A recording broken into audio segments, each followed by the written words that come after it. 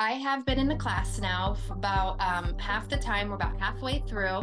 And I have definitely noticed a humongous difference in my confidence on the phone, which I can tell comes through as I just had a call on Monday following up with my leads from open houses over the weekend. And I quote, he said, I love it, everything that you're saying. I want to work with you. My jaw dropped. I wasn't ready for that.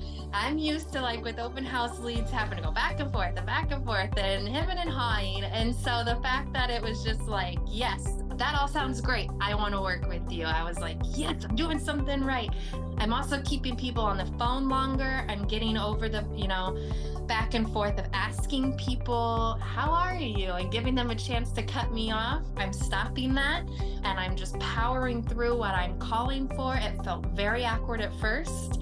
Uh, the more that I have done it, the better I have gotten at it. And I can see the results because now I'm getting people to stay on the phone and having better conversations because of it.